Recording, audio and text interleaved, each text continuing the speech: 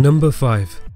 Rafael dos Anjos is the former UFC lightweight champion. He holds a professional mixed martial arts record of 25 wins with 8 losses. He is a well-rounded fighter who likes to use his vicious Muay Thai striking, mixing it up with takedowns. Although he has finished many fights, he has won 8 of his fights in the UFC by a unanimous decision.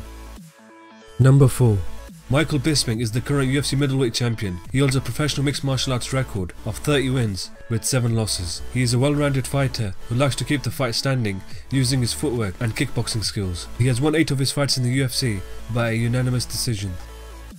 Number 3.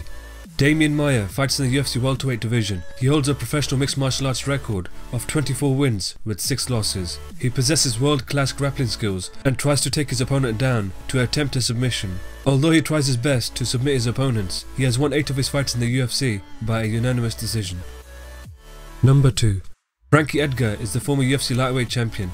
He holds a professional mixed martial arts record of 20 wins with 5 losses. He likes to use his footwork and speed to stay active inside the octagon, mixing his striking with his takedowns. Although he tries his best to finish fights, he has won 8 of his fights in the UFC by a unanimous decision.